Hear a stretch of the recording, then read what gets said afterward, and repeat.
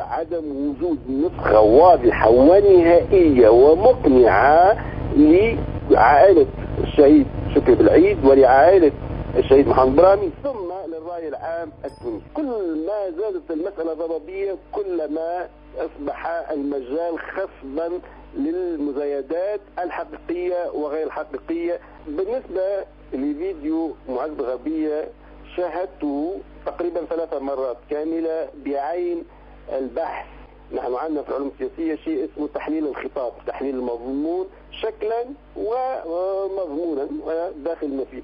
يعني واضح إنه معز آه، مرتبك جدا حتى بدنيا يعني ضعف وخسر كثيرا من وزنه إنه مرتبك في حالة ارتباك وهو في لخص آه، يعني اطروحته بكلمتين هو يريد أن يفاوض من منطق تهديد وقوة ناس تهدده.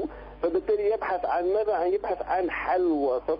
آه، طبعا ثم آه، مبالغات هنا وهناك. كان في حماية الشرطة السويسريه نعرف القانون السويسري وكيف تتم العملية. لأنه ثم بروسيدور إجراءات تامة. ثم هو متواجد في سويسرا بأي شكل؟ هل هو مجرد سائح زائر؟ هل هو مواطن سويسري هل هو مقيم؟ هل طلب اللجوء السياسي حتى يطالب بحماية سياسية؟ هذه كلها أسئلة مطروحة لكن واضح الارتباك النفسي الشديد الكبير الموجود عليه الرجل.